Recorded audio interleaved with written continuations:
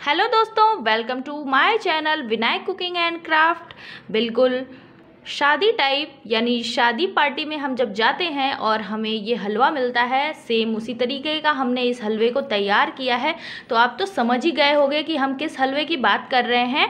आज हम बात कर रहे हैं मूंग दाल हलवे की, जो बहुत ही टेस्टी होता है और इसे हम बिल्कुल जिस तरीके से शादी में तैयार करते हैं, उसी तरीके का हलवाइयों टाइप तैयार करेंगे। आप देख सकते हैं ये बहुत ही यमी यमी दिख रहे हैं।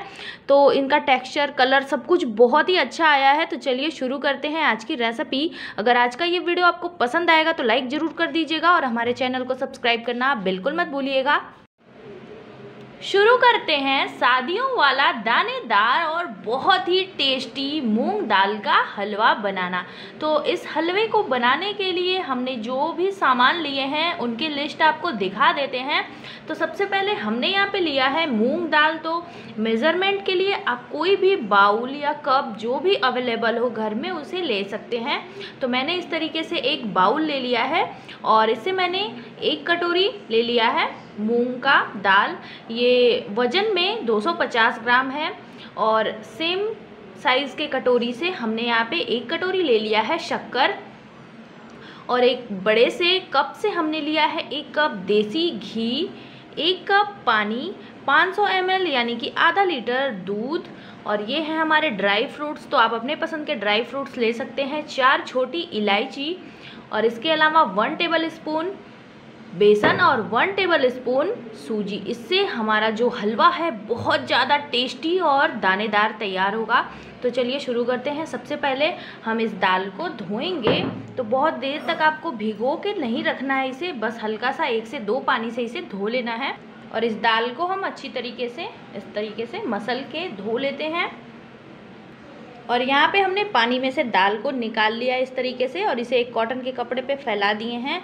तो इन्हें हम थोड़ा सा सुखा लेते हैं इस तरीके से। तो यहाँ पे हमने पानी को सुखा लिया है कपड़े से पोछ के अपने दाल का। तो अब हम इन्हें ड्राई रोस्ट करेंगे। तो चलिए इन्हें हल्का भून लेते हैं। तो कढ़ाई हमारी गर्म हो गई है, इसमें हम दाल को डालेंगे और लो मीडियम फ्लेम पे चलाते हुए हम इन्हें थोड़ी देर तक भूनेंगे। अब इस दाल का कलर हल्का चेंज होने लगा है। इसे हम थोड़ी देर और रोस्ट करेंगे। तो ये हमारी दाल भुन चुकी है। इसका कलर हल्का हल्का चेंज हो गया है। ब्राउन हो चुका है। तो अब हम इसे थोड़ा सा ठंडा करेंगे और इनका एक दरदरा सा पाउडर तैयार करेंगे। और हम यहाँ पे दो चम्मच घी में अपने ड्राई फ्रूट्स को हल्का सा फ्राई कर लेंगे इस तरीके से। और अब हम कढ़ाई में और घी डालेंगे। और इस घी में हम अपना दरदरा पीसा हुआ मूंग दाल डालेंगे और इन्हें लगातार चलाते हुए हम फ्राई करेंगे बिल्कुल लो फ्लेम पे। और यहीं पे हम एक चम्मच जो हमने बेसन लिया था और एक चम्मच सूजी इन्हें भी ऐड कर देंगे और सबको एक साथ मिक्स करते हुए हम फ्राई करेंगे। घी हम इसमें और डालेंगे। मूंग दाल के हलवे में घी काफ़ी लगता है, जिससे ये हमारा जो हलवा बनता है, ये बहुत ही दानेदार और बहुत ज़्यादा टेस्टी बनता है। तो अब इस तरीके से हम इन्हें लो फ्लेम पे लगातार चलाते हुए भुनेंगे।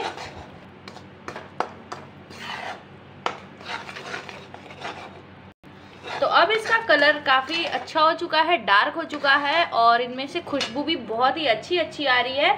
तो अब हम यहाँ पे अपना दूध ऐड करेंगे। और ये देखिए, काफ़ी ड्राई होने लगे हैं। ये दूध डालने के बाद हमने इन्हें लो फ्लेम पे पकाना शुरू किया है। तो यहाँ पे मैंने डाल दिया है शक्कर और शक्कर को हम इसमें मिक्स करेंगे। आप इसमें कलर देने के लिए केसर या फिर ऑरेंज फ़ूड कलर या येलो फ़ूड कलर जो भी फ़ूड कलर आपका मन करे, उसे यहाँ पे डाल सकते हैं। तो मैंने यहाँ पे थोड़ा सा ऑरेंज फ़ूड कलर डाला है और इन्हें अच्छे से मिक्स करेंगे।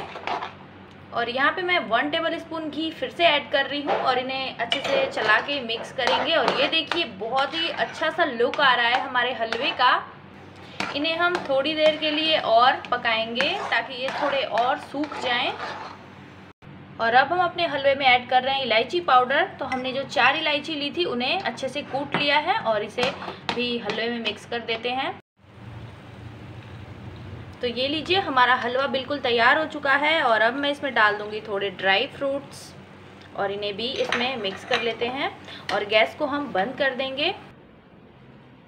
तो ये लीजिए, हमारा बिल्कुल शादियों टाइप, दानेदार और बहुत ही टेस्टी टेस्टी मूंग दाल हलवा बिल्कुल रेडी हो चुका है। बहुत ही सुंदर कलर आया है और हलवा दिखने में काफ़ी टेस्टी लग रहा है। खाने में भी ये बहुत ही ज़्यादा टेस्टी होने वाला है। ये देखिए, बिल्कुल घी इसमें से चमक रहा है तो एकदम इसी तरीके का जो हम शादियों में हलवा खाते हैं, मूंग दाल का, ऐसा ही होता है, जिसे खाने के बाद हम पहचान ही नहीं पाते कि हमने क्या खाया है।